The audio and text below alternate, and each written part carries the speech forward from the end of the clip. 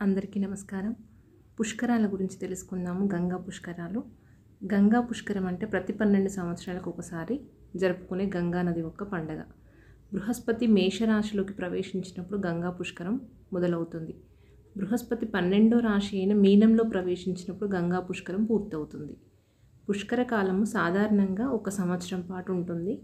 అయితే పుష్కర కాలంలోని మొదటి పన్నెండు రోజులను ఆది పుష్కరం అని చివరి పన్నెండు రోజులను అంత్య పుష్కరాలని అంటారు. ఈ మొదటి చివరి పన్నెండు రోజులు మరింత ప్రత్యేకమైనవి.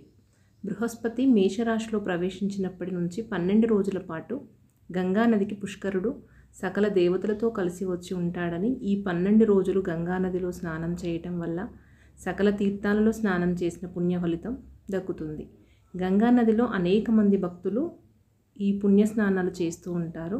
ఈ గంగా పుష్కరాలు ఏప్రిల్ ఇరవై రెండవ తేదీన ప్రారంభమై మే మూడవ తేదీన ముగుస్తున్నాయి. భారతదేశంలో అనేక పుణ్యనదులు ఉన్నాయి ఈ పుణ్యనదులలో పుష్కరాలు జరిగేటటువంటి పన్నెండు నదులకు ప్రత్యేక స్థానం ఉంది.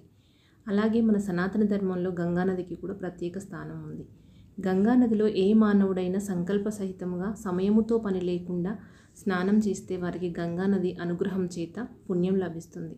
అటువంటిది గంగా పుష్కరాల సమయంలో చేసేటువంటి స్నానం కొన్ని వేల రెట్ల పుణ్యఫలం ఉంటుంది.